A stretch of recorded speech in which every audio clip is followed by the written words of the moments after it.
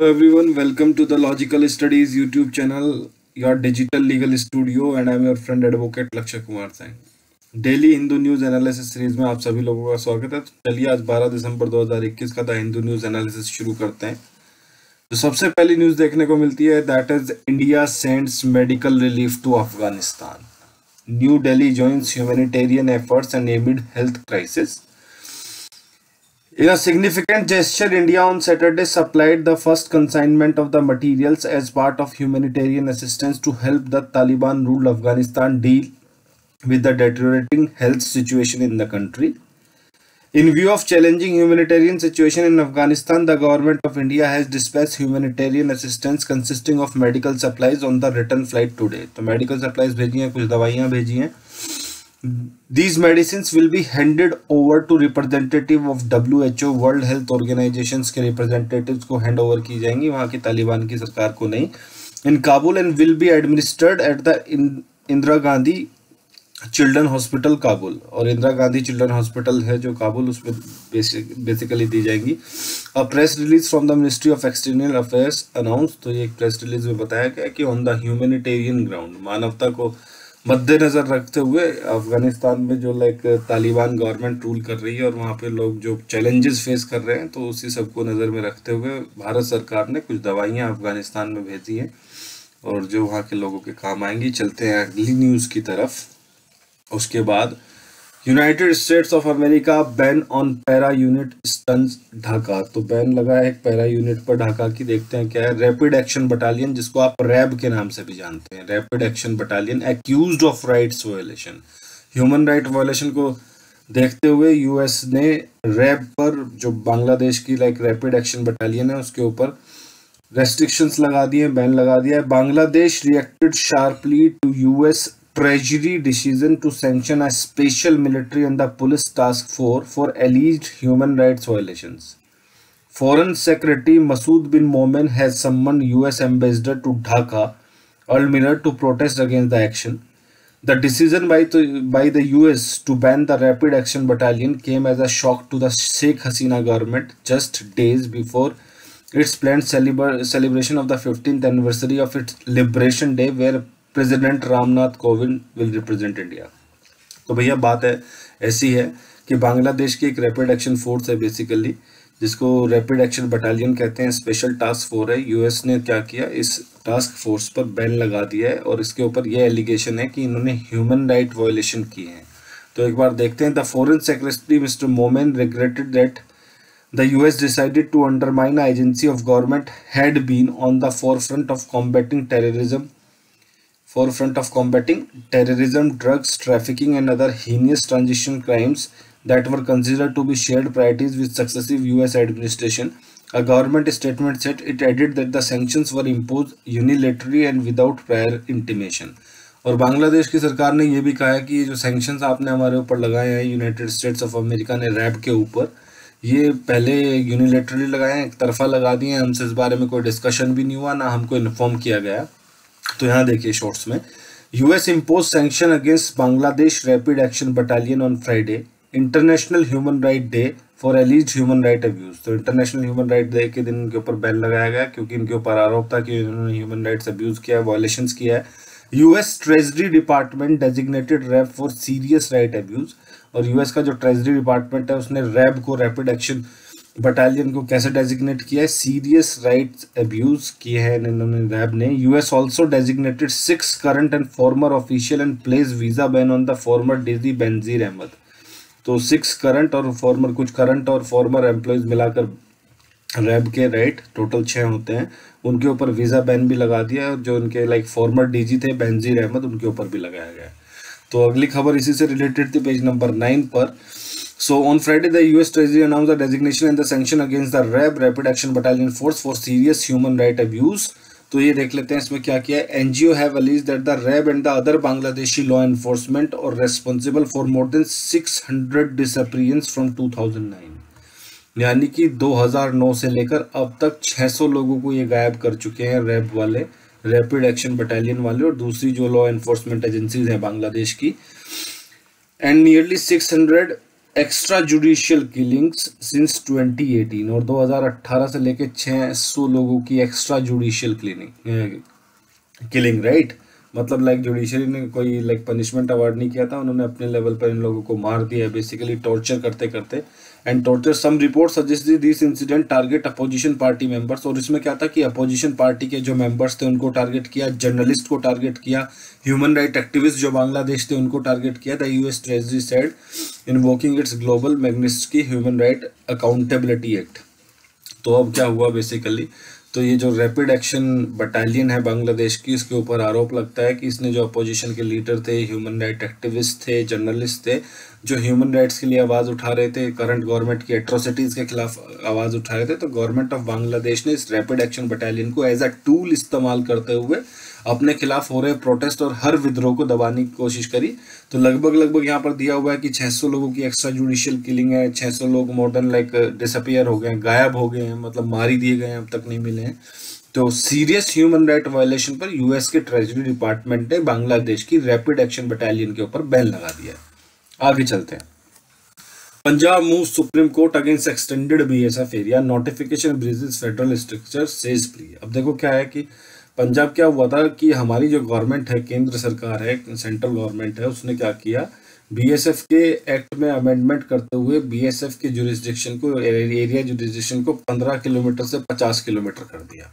अब क्या हुआ? जहाँ जहाँ बीएसएफ पोस्टेड है बॉर्डर स्टेट्स हैं जो इंडिया के लाइक आपका पश्चिम बंगाल हो गया, पंजाब हो गया और भी जितने स्टेट्स हैं, वहाँ पर पहले 15 किलोमीटर का इनका जुरिस्डिक्शन था, अब ये 50 किलोमीटर का हो गया। तो यानी कि इन बॉर्डर एरियाज़ के स्टेट के बहुत सारे डिस्ट्रिक्ट्स इस जुरिस्डिक्शन के बढ़ने से कहाँ आ गए? बीएसएफ के एडजुडिकेशन में आ गए बेसिकली उनके जुरिस्डिक्शन में आ गए। वो वहाँ से किसी को भी उठा सकते हैं पूछताछ करने के लिए, क्योंकि बॉर्डर एरिया है, कई बार डिस्टर्ब रहता है तो उसका लाइक ये प्ली देते हुए सेंट्रल गवर्नमेंट ने बेसिकली इसको एक्सटेंड किया। अब पंजाब जो है, अभी आपने देखा होगा कि पश्चिम बंगाल के मुख्यमंत्री भी कुछ दिन पहले, पंद्रह दिन पहले मिस्टर मोदी से दिल्ली आकर मिली थी कि भैया आप फेडरल स्ट्रक्चर को डिस्टर्ब मत कीजिए। India is a quasi federal country schedule seven तीन लिस्ट हैं यूनियन स्टेट और कॉन्करेंट तीनों के बीच में डिवीज़न है। इसको फ़ील्ड ऑफ़ लेजिस्लेशन भी कहते हैं। तो अब ये कह रहे हैं कि आप ये एनक्रोचमेंट कर रहे हैं और फेडरल स्ट्रक्चर को डिस्टर्ब कर रहे हैं। Punjab has filed a suit in the Supreme Court against the centre move to increase the limit of jurisdiction of the border security forces from 15 to 50 kilometres along the India Pakistan international border तो Punjab High Court चला गया है Supreme Court Supreme Court क्यों गया है भैया? Supreme court का original jurisdiction है। There is a dispute between centre and state और between two state between two states और सेंटर तो सुप्रीम कोर्ट उसको सुनता है। तो the state has filed an original suit challenging the October 11 notification issued by the union home ministry extending the central forces area of jurisdiction calling it a breach of federal form of government under the constitution उन्होंने कहा कि this is the breach of federal structure अब ये जो state है, वो ज़बरदस्ती encroach करना चाह रहा है। तो यहाँ पर भी आप देख सकते हैं कि the state said many district town and the village of Punjab fell within the fifty kilometre radius and came within the jurisdiction of the state government right right? तो अब चलते हैं अगली खबर की तरफ़, देखते हैं कि सुप्रीम कोर्ट इसमें क्या कहता है। आगे।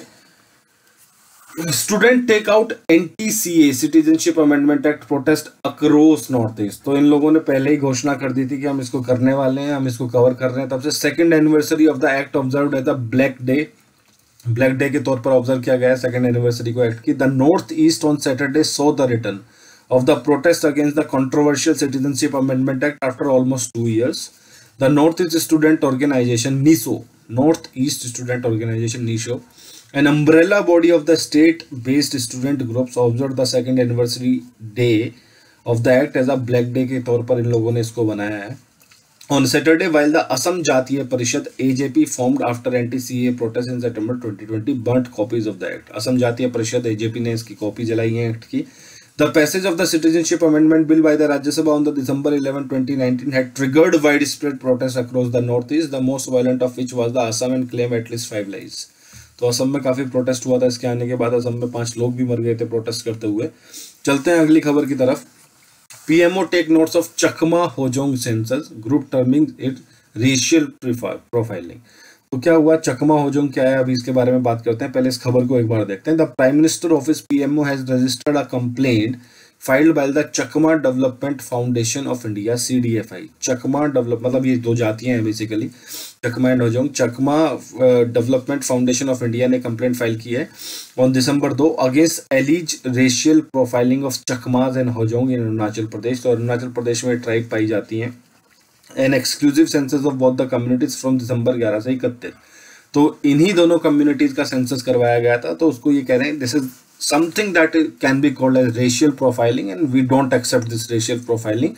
The deputy commissioner of arunachal pradesh, changlang district Arunachal Pradesh के चेंगलांग डिस्ट्रिक्ट के डिप्टी कमिश्नर ने नवंबर 26 को एक नोटिफिकेशन में कहा था the census of Chakma and Hajong 2021 which the CDFI अब सीडीएफआई हमने अभी ऊपर देखा है, Chakma development foundation of India said was in clear violation of the right to life और ये क्लियर वायोलेशन है हमारे राइट टू लाइफ का उल्लंघन है including right to privacy and the right to equality आप इस तरीके से लाइक ये करवा रहे हैं तो ये राइट टू लाइफ का राइट टू प्राइवेसी का एंड राइट टू इक्वलिटी का आर्टिकल 14 आर्टिकल 21 का ये उल्लंघन है।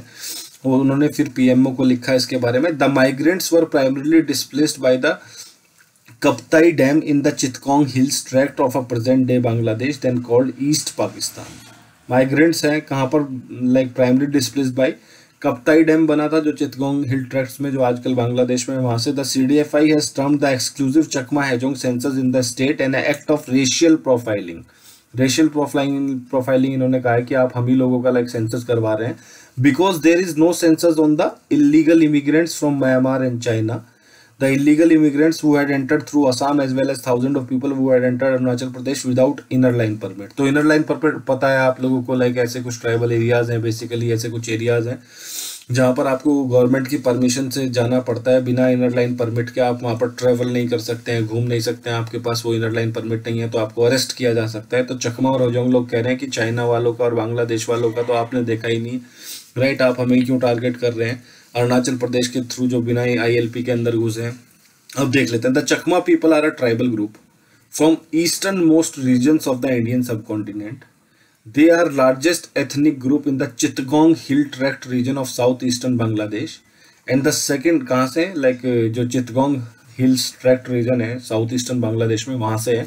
And the second largest in Mizoram in India Mizoram में लाइक सेकेंड लार्जेस्ट ग्रुप है ये। Other places in north east India also have the significant Chakma population जैसे कि around fifty thousand Chakmas live in Arunachal Pradesh India a first generation migrated there in 1964 after the Kaptai dam tragedy also like जो Kaptai dam था, उसकी tragedy की वजह से ये लोग माइग्रेट कर गए थे वहाँ से इधर. Also forty thousand to fifty thousand Chakma lives in Tripura India and twenty thousand to thirty thousand in Assam India तो लगभग लगभग अगर मैं एवरेज भी लेकर चलूँ तो बीस और चालीस और दो साठ और लाइक काफ़ी बड़ी संख्या में लाइक एक लाख से ऊपर ये चकमा पीपल यहाँ पर रह रहे हैं। सो so, अब हजोंग को देख लेते हैं। The Hajong people are in the ethnic group from the north east India and the northern part of Bangladesh the majority of the Hajongs are settle in India and are predominantly rice farmers तो basically चावल वगैरह उगाते हैं paddy farmers हैं। They are set to have brought a wet field cultivation at a Garo hills जो Garo Jaintia hills हैं basically like wet field cultivation to Garo hills वही लेकर आए। Where the Garo people use slash and burn method for agriculture तो जो originally Garo people थे, वो क्या करते थे?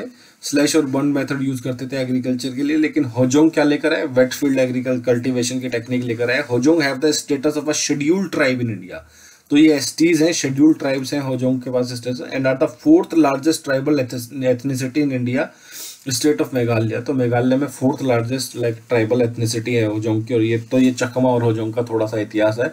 तो लाइक अरुणाचल प्रदेश के जो डिप्टी कमिश्नर है, उन्होंने आदेश दिया था बेसिकली कि चकमा और होजोंग का आप सेंसस किया जाएगा। तो उन्होंने कहा कि राइट टू प्राइवेसी और राइट टू लाइफ और राइट टू इक्वलिटी का उल्लंघन है, आप ये क्यों कर रहे हैं? तो आगे देखते हैं, इसमें जो भी खबर मिलेगी कवर करते रहेंगे। तो चकमा और होजोंग आपने देख लिया इंपॉर्टेंट हो जाता है हमारे लिए, कहाँ की ट्राइब है।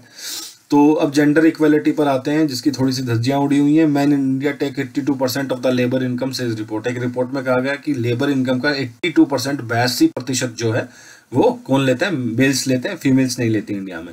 Study explore gender inequality in global earnings basically among neighbors, women share a total labor income in india was lower compared to china, sri lanka and nepal, but higher than the bhutan and हमारे से ऊपर कौन है? Like हमारे से ऊपर है नेपाल है श्रीलंका चाइना नीचे है Bhutan, Bangladesh, Pakistan and Afghanistan. Man in India capture 82 percent of the labour income while the women earn just 18 percent according to the first ever estimate of gender inequality in the global earning presented in the world inequality report 2022 तो world inequality report ये बहुत दिनों से news में है, इनको पहले भी हमने कवर किया था।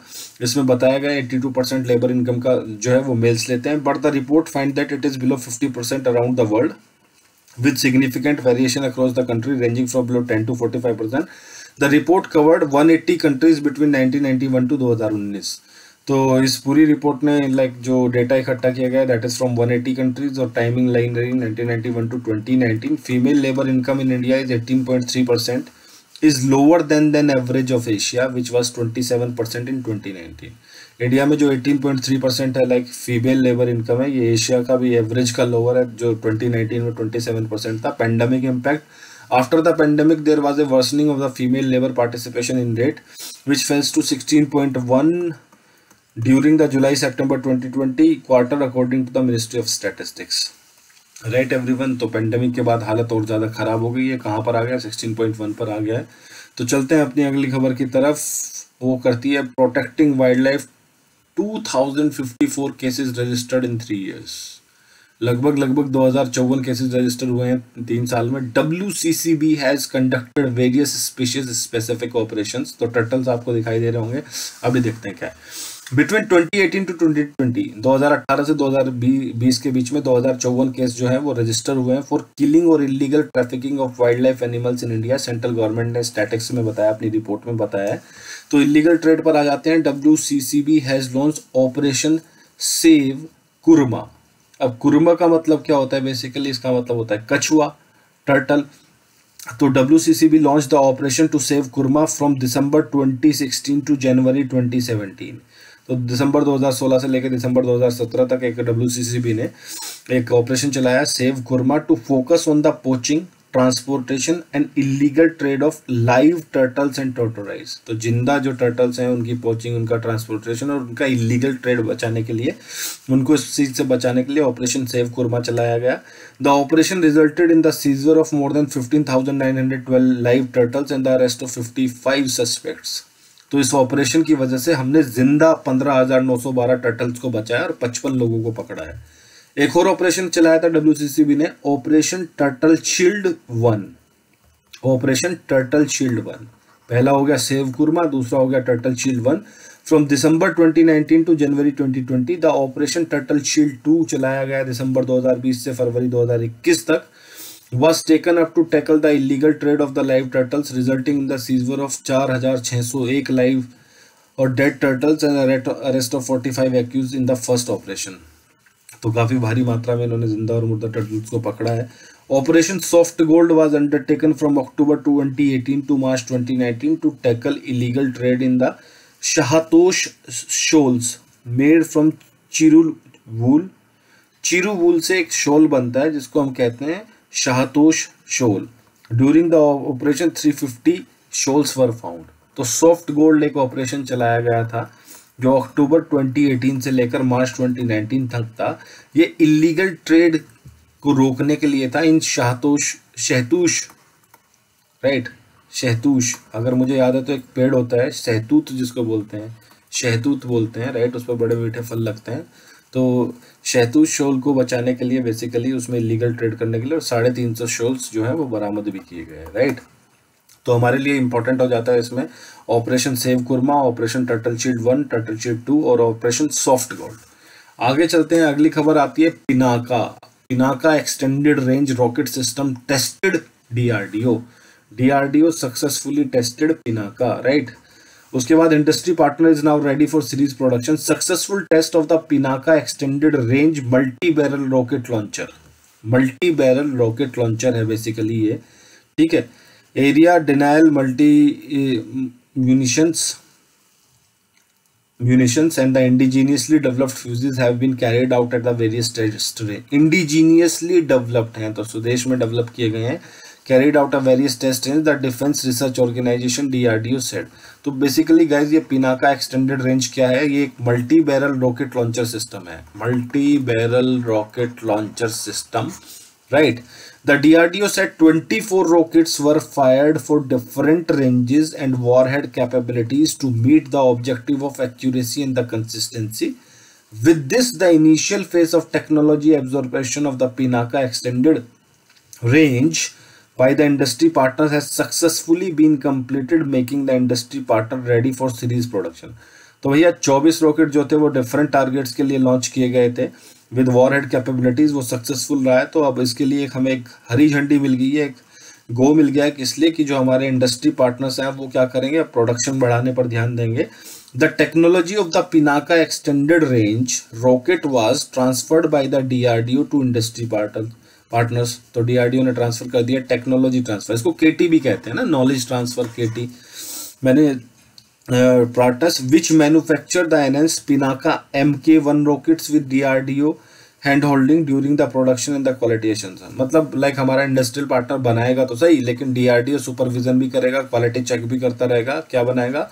Pinaka M one right everyone तो इसको सक्सेसफुली हमने कर लिया है टेस्ट चलते हैं अगली खबर की तरफ़। G seven the group of seven puts up united front against Russia अब रशिया का लेकर बड़ा मुद्दा चल रहा है यूक्रेन को लेकर। ना, सब परेशान है।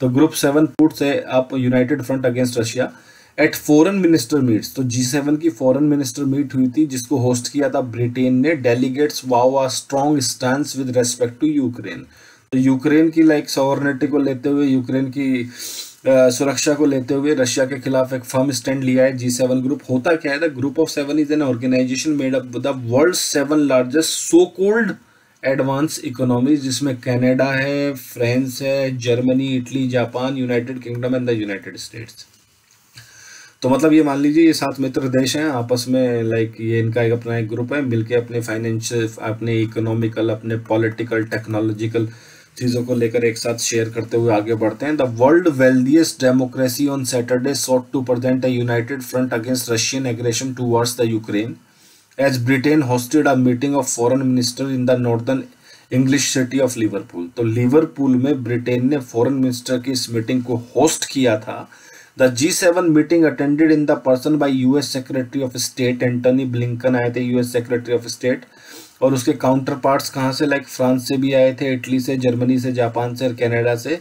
एक साथ आए international concern that the Russia could invade Ukraine Russia denies planning any attack तो इनका एक कंसर्न ये है कि भैया अब स्थिति ये बन चुकी है रशिया जो है यूक्रेन पर हमला करने वाला है। जबकि रशिया ने कहा कि चिल करो ब्रो मैं हमला नहीं करूँगा। तो रशिया कर भी नहीं रहा है। बहुत दिनों से लाइक ये ऐसी स्थिति बनी हुई है कि अब होगा अब हो, नहीं होगा तो ये चल रहा है। Any incursion by the Russia would be a strategic mistake for which there would be a serious consequences the foreign office said. और इन सब लोगों ने मिलकर रशिया को लाइक एक मैसेज डिलीवर किया है मतलब अपना मिलना और आपस में बात करना ये नहीं कि अपनी तरफ़ से कोई मैसेंजर भेजा है इन सबने कहा है कि अगर रशिया ऐसा कुछ करता भी है सोचता भी है तो ये लाइक स्ट्रेटेजिकली बहुत बड़ी गलती करेगा रशिया और उसके परिणाम उसको भुगतने पड़ेंगे We need to come together strongly to stand up aggressor who are seeking to limit the bounds of freedom, Mr. Truss foreign minister of start of the meeting तो ऐसे कह रहे हैं कि लाइक हमें एक साथ खड़े होना पड़ेगा एग्रेसर के खिलाफ, जो लाइक फ्रीडम को लाइक खत्म करना चाहता है यूक्रेन की and the United State destabilizing Russia accuse Ukraine and the United State और रशिया ने किसको दोषी बताया? यूएसए को और यूक्रेन को क्यों बताया? Destabilizing behaviour and has said it need security guarantee from its own protection तो सिक्योरिटी गारंटी की बात करता हुआ यहाँ पर ऐसे दिखा रहा है as of introspection Britain is a current chair of the G seven क्योंकि होस्ट कर रहा है। Is calling for it member to be more steadfast in their defence of what is called the free world the G seven meeting is also expected to result in a joint call for Iran and moderate its nuclear programme Iran का मुद्दा भी discuss करेंगे, ताकि वो अपने nuclear programme को moderate करें and grasp the opportunity of ongoing talks in Vienna to review multilateral agreement multilateral agreement on its nuclear development तो मल्टीलेटरल एग्रीमेंट की बात होगी, जिसमें बहुत सारी पार्टीज़ होती हैं। तो ईरान का मुद्दा भी ये लोग डिस्कस करने वाले हैं। इधर इन्होंने रशिया को भी एक मैसेज दे दिया, भैया, अगर यूक्रेन को इन्वेड कर दिया तो सीरियस उसके परिणाम आपको भुगतने पड़ेंगे। अब ये चाइनी ये शी जिनपिंग अंकल हैं, ये बहुत दिनों से न्यूज़ में हैं। कभी कभी कभी अपने आप को लाइक आपने देखा होगा कि हमने इस न्यूज़ को कल भी कवर किया था, जैसे कि यूके यूएसए के प्रेसिडेंट जो बाइडन ने वो डेमोक्रेसी समिट स्टार्ट किए तो चाइना तो गया नहीं। अब चाइना का एक वो भी है लाइक दोस्त हम सफ़र हमदम, पाकिस्तान। अब चाइना नहीं गया तो पाकिस्तान की हिम्मत है वो चला जाए। वो भी नहीं गया उस मीट में। राइट उसके बाद क्या हुआ? तो चाइना ने अपने आप को क्लेम कर दिया कि इस दुनिया की सबसे बड़ी डेमोक्रेसी हम है। बावजूद इसके भी, इसके कि China single communist ruling party है, उसके बावजूद भी इन्होंने कह दिया, सबसे बड़ी डेमोक्रेसी है हम है, सबसे बड़े प्रजातंत्र हम है। हमारे अलावा कोई बड़ा प्रजातंत्र नहीं है। इंडिया इंडिया सब अपने आप को ऐसे ही कहते रहते हैं। अब चाइना ने लाइक बैंड किया है यूएस की डेमोक्रेसी को, कहा है वेपन ऑफ़ मास डिस्ट्रक्शन की यूएस की जो डेमोक्रेसी है that is the weapon of mass destruction Beijing response follows the democracy summit snub तो China branded US democracy is a weapon of mass destruction on Saturday following the US organise summit for the democracy which aim to shore up like-minded allies in the face of autocratic regimes. China was left out of the two-day virtual summit and responded by angrily accusing US President Joe Biden of stoking cold war era ideological divisions बोला, भैया cold war era like China बाहर है, इस summit से तो चिड़ा हुआ है थोड़ा सा और लाइक एक्यूज कर रहे हैं वो यूएस प्रेसिडेंट जो बाइडेन को कि आप दोबारा से उस तरफ़ जा रहे हैं कोल्ड वॉर की तरफ़, जो पहले से ही था।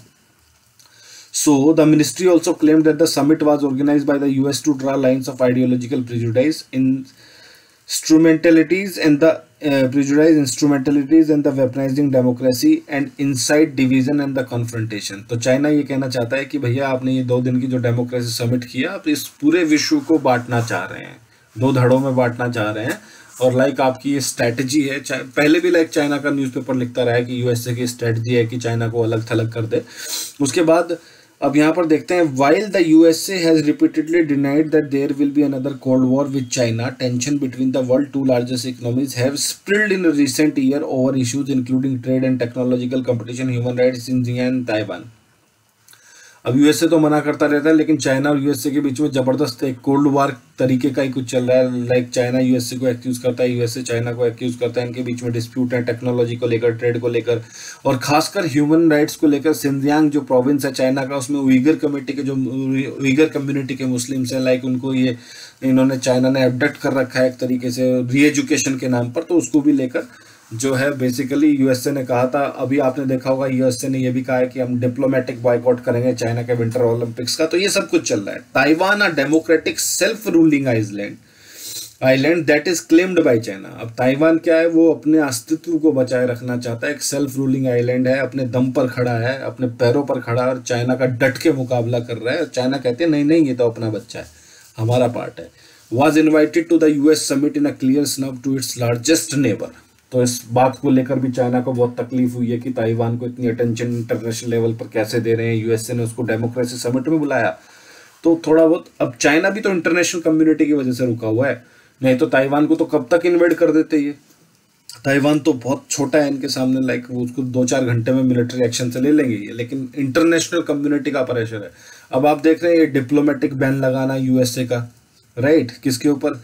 चाइना के जो गेम्स चलने वाले हैं, उसके बाद डेमोक्रेसी समिट करना, ये पूरा माहौल तैयार कर रहा जा रहा है ग्लोबल लेवल पर, ताकि जो ताइवान जैसे कंट्रीज़ चाइना से परेशान है और चाइना को लाइक डीमोटिवेट करने के लिए और थोड़ा सा कि वो स्टेप बैक करके ही रहे ताइवान पॉलिसी में। आगे चलते हैं। अगली खबर आती है US slap sanction on the North Korean and the Chinese entities ये लीजिए यूएसए की तरफ़ से। उन्होंने कहा कि यूएसए की democracy is a tool of mass destruction तो चाइना की तरफ़ यूएसए की तरफ़ से भी एक जवाब आता है कोरियन और चाइनीज़ एंटिटीज पर नॉर्थ कोरियन और चाइनीज़ एंटिटीज पे सैंक्शन लगा दिए गए हैं। The action was time to coincide with the human rights day वाले दिन इन्होंने ये सब कुछ किया लाइक बांग्लादेश के रैप पर लगाया जो रैपिड एक्शन बटालियन पर। The United State unveiled a raft of new rights abuse and the sanction on the Friday on the senior official and the entities in the eight countries, including a Chinese firm specializing in, in facial recognition technology and a giant cartoon studio North Korea तो North Korea में तो एक giant एक cartoon studio के ऊपर लगाया गया है चाइना में एक लाइक बहुत बड़ी कंपनी के ऊपर लगाया है वो स्पेशलाइज्ड है किस चीज़ में फेशियल रिकॉग्निशन टेक्नोलॉजी में उसके बाद time for the international human right day and the support in part by Britain and Canada, the sanction took aim at official accused of abetting the crackdown on anti-coup protesters. In Myanmar में जो like coup हुआ है, सेना ने एंग सन Si-Yu-Ki को हटा दिया गया है। The operation of the Muslim Uyghur in China जिसकी बात हमने अभी करी लास्ट स्लाइड पर in Xinjiang region and the political violence in the Bangladesh जो रैब लगा है राइट तीनों का बताया इसमें म्यांमार का एंटी कूप जो लाइक मिलिट्री ने टेक ओवर कर लिया है, उसके बाद चाइना में जिनजियांग और बांग्लादेश में RAB our actions today send a message that democracies around the world will act against those who abuse the power of the state to inflict suffering and the repression तो इन्होंने ये कहा है कि हमारे जो एक्शन है आज जो हम बैन वगैरह लगा रहे हैं ये किस लिए हैं कि जितनी भी डेमोक्रेसीज हैं अराउंड द वर्ल्ड अगर वो ऐसा कर, कुछ करती हैं अपनी पावर का अब्यूज़ करती हैं लोगों को दबाने के लिए उनके ह्यूमन राइट वायलेशन के लिए तो हम यही करेंगे। अब बैन लगा देंगे। The treasury accuse Pyongyang's government run animation firm S E K studio and companies and individuals related to it of exploiting North Korean workers और ये जो कंपनी के ऊपर लगाया ना जॉइंट कार्टून स्टूडियो के ऊपर ये नॉर्थ कोरियन वर्कर्स को एक्सप्लोइट कर रही हैं to earn much needed foreign currency and avoid sanction on the country right तो आगे चलते हैं। अगला जो है आर्टिकल है एक्सप्लेनर है which state in the North East are under AFSPA तो जब से लाइक मॉन डिस्ट्रिक्ट में नागालैंड के मॉन डिस्ट्रिक्ट में ये घटना हुई है कि गलत इंटेल की वजह से चौदह लोग टोटल मिलाकर दो घटनाओं में मारे गए हैं तब से अफस्पा को लेकर arm forces special power act को लेकर बहुत प्रोटेस्ट जो है तेज हो गया ये न्यूज़ में देखते हैं why is the demand for repealing the law getting more vocal what powers does it confer on the armed forces? The story so far, the killing of 14 civilians in the Bosch military operation in the Nagaland has led to a fresh calls for the repealing the Armed Forces Special Power Act, AFSPA, a stringent law that allow arm forces to use maximum force तो फसपा के under arm forces maximum force use कर सकती हैं। किसी भी area को disturb area designate किया जा सकता है। Following the incident on December four the demand for repealing the law has become quite vociferous मतलब अब लोगों ने इस डिमांड को लाइक ये डिमांड तेज होगी या फसपा को हटाने की। Among those calling for its withdrawal are the chief minister of Nagaland and Meghalaya तो वो भी इसमें शामिल है। What is the origin of the AFSPA कैसे ओरिजिन में आया है ये? In the wake of the partition riots four ordinances were promulgated in 1947 तो जब विभाजन हुआ देश का तो चार अध्यादेश राष्ट्रपति ने जारी किए। The first was the Bengal disturbed area special powers and arm forces ordinance पहला था बंगाल डिस्टर्ब एरिया वाला। This was followed by the ordinances for Assam East Punjab and Delhi right every one उसके बाद यह असम ईस्ट पंजाब और दिल्ली का आया and the United Provinces Uttar Pradesh का आया। These were replace by a common legislation और बाद में इनको एक कॉमन लेजिस्लेशन से रिप्लेस कर दिया गया, उसका नाम आया AFSPA arm forces special powers act 1948 this was meant to be in force for one year एक साल के लिए था but was repealed only in 1957 में इसको रिपील किया गया there after the president promulgated the arm forces Assam and Manipur special power ordinances in May 1958 उसके बाद प्रेजिडेंट एक और ऑर्डिनेंस को लेकर आते हैं जो किस लिए है, जिसका नाम था arm forces Assam and Manipur Assam और मणिपुर के लिए स्पेशल पावर दे दी गई है आर्म फोर्सेज को। This was subsequently replaced by an act of parliament इसको भी रिप्लेस किया गया है। Initially known as the arm forces Assam and Manipur special power act 1958 उसके बाद इसको भी it was subsequently adapted appropriately after the creation of Arunachal Pradesh Meghalaya Mizoram Nagaland and Tripura इनके बनने के बाद इसको अडॉप्ट किया गया which part of the country commander AFSPA AFSPA के अंडर कंट्री के कौन कौन से पार्ट्स आते हैं? Arm forces special power act has been force for decades मतलब दशकों से ये फोर्स में है नॉर्थ ईस्टर्न स्टेट्स में। Under this law an area can be declared as distributed area तो इस लॉ के अंडर किसी भी एरिया को डिस्ट्रीब्यूटेड डिस्टर्ब्ड एरिया डिक्लेयर कर सकते हैं, अशांति है जहाँ पर। Bringing into play the protection it offers to the arm forces to use the force in the notified area arm forces वहाँ पर फोर्स यूज़ कर सकती हैं। The notification is extended periodically mostly for six month in a time तो period periodically इसको time to time इसको like like, extend करते रहते हैं नोटिफिकेशन को इसकी इम्प्लीमेंटेशन की। हर छः महीने पर जनरली ये होता है। As of today the whole of Assam पूरा का पूरा Assam and Nagaland are disturb area तो असम और नागालैंड जो है वो डिस्टर्ब एरिया है. The last six month extension was made on August 28 and June 30 respectively आखिरी एक्सटेंशन अगस्त 28 और जून 30 में हुई थी. The whole of Manipur with the exception of the Imphal municipal area पूरा का पूरा मणिपुर है, लेकिन उसमें इम्फाल म्यूनसिपल एरिया नहीं है. Notified by the state government for one year for December 2020 notify कर दिया गया है। अब क्या होता है guys in a disturb area any officer of the arm forces may fire upon use force even to the point of causing death against any person for the maintenance of public order तो public order को maintenance करने के लिए किसी भी व्यक्ति के ऊपर जो आर्म फोर्सेज है, वो फायर तक ओपन कर सकती हैं। अगर उसकी मृत्यु भी हो जाए तो इसमें कोई लाइबिलिटी उनकी नहीं बनती है। तो in Arunachal Pradesh the disturb area notification is confined to the district of Tirap तो अरुणाचल प्रदेश में डिस्टर्ब एरिया कौन कौन से ज़िले हैं? एक तो तिराप है, उसके बाद चैंगलैंग डिस्ट्रिक्ट है, उसके बाद लॉन्गडिंग डिस्ट्रिक्ट है and the areas following under the Namsai and the Mahadevpur police station Namsai और महादेवपुरा पुलिस स्टेशन के अंडर के कुछ एरिया है बॉर्डर असम का जहाँ बॉर्डर लगता है, ये डिस्टर्ब एरिया है। उसके बाद what does the act say the act empower the governor of any state और the administration of union territory और द सेंट्रल गवर्नमेंट तो गवर्नर को और एडमिनिस्ट्रेशन एडमिनिस्ट्रेटर जो होगा यूटी का लेफ्टिनेंट गवर्नर को और सेंट्रल गवर्नमेंट को to notify part of the whole of the state और union territory as a disturb area कोई भी पर्टिकुलर हिस्सा या पूरे स्टेट को वो डिस्टर्ब एरिया डिक्लेयर कर सकते हैं। In such a notified area any officer of the arm forces में fire upon or use force fire कर सकता है यू फोर्स यूज़ कर सकता है even to the point of causing death अगर मृत्यु भी हो जाए तो कोई बात नहीं। अगेंस्ट एनी पर्सन किसी भी व्यक्ति के खिलाफ, किस लिए? To maintain the law and order in that particular disturb area this must be done after giving due warning as considered necessary अगर ज़रूरी लगे तो वार्निंग भी देगा पहले। And the target must be a person who is contravening any law और लक्ष्य क्या होना चाहिए? ऐसा व्यक्ति जो किसी भी लॉ का वायोलेशन कर रहा है पीस एंड ऑर्डर के लिए खतरा है। Or order prohibiting the assembly of five or more person और ऐसे आदेश का वायलेशन करता है, जिसमें ये पहले से ही कह रखा है कि पाँच या पाँच से ज़्यादा व्यक्ति एक साथ इकट्ठा नहीं होंगे, वही unlawful assembly or carrying weapons हथियार ले जा रहे हैं firearms or ammunition the act allow arrest and search of any premises without a warrant in notified areas तो ऐसे डिस्टर्ब एरिया में बिना किसी भी इंफॉर्मेशन के आप बिना किसी वारंट के सर्च कर सकते हैं, किसी के भी घर में फैक्ट्री में, कहीं भी प्रीमाइसिस में घुस सकते हैं। And the recovery of any confined person और any arm and ammunition stored unlawfully किसी की भी रिकवरी कर सकते हैं एम्यूनेशन की कन्फाइंड पर्सन की, जिसको अनलॉफुली वहाँ पर रखा गया है। The arm forces may also destroy any hideout किसी भी हाइड आउट को छुपने की जगह को डिस्ट्रॉय कर सकते हैं। Or arms dump or a fortified area or shelter from which arm attacks are being launched or any arms training being carried out मतलब जहाँ पर लाइक आर्म्स ट्रेनिंग हो रही हो अगेंस्ट द गवर्नमेंट इस डिस्टर्ब एरिया में या पर छुपने की जगह हो, उनका सेफ़ हाउस हो तो उस सबको आर्म फोर्सेस क्या कर सकती हैं डिस्ट्रॉय कर सकते हैं। Why do many demands it repeal Detractors and the human right organization as well as many section of civil society argue that the act encourage impunity and is the cause of many instances of excess and the atrocity committed by the armed forces under the protective cover.